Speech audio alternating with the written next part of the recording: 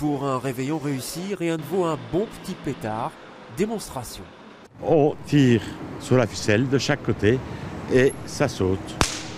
Voilà. Les enfants ne risquent pas de se brûler Du tout, du tout. D'abord, il n'y a pas de flamme. Et ensuite, euh, c'est bien gentil, ça, ça, fait du bruit, mais euh, il n'y a pas de flamme ou, quoi que ce soit. Du bruit, voilà ce que viennent chercher les gens dans ce genre de magasin, à commencer par les jeunes, visiblement bien informés. Qu'est-ce qu'il faut faire avec un pétard pirate pour être bien prudent? Bah, Essayer d'abord de le poser quelque part où il n'y a personne. Et euh, bah, c'est quelque chose qui peut exploser, quoi. Donc vous avez environ 3 secondes avant que ça explose. Donc.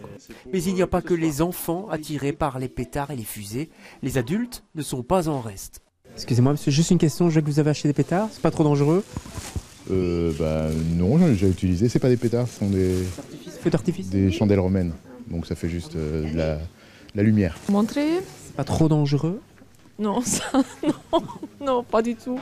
Dans ce magasin, rien que des petits pétards. Les autres, exposés comme les feux d'artifice, sont factices. C'est très réglementé. En fait, on a une cave sécurisée où se trouvent tous les, pétards, les batteries, les feux d'artifice. C'est sécurisé.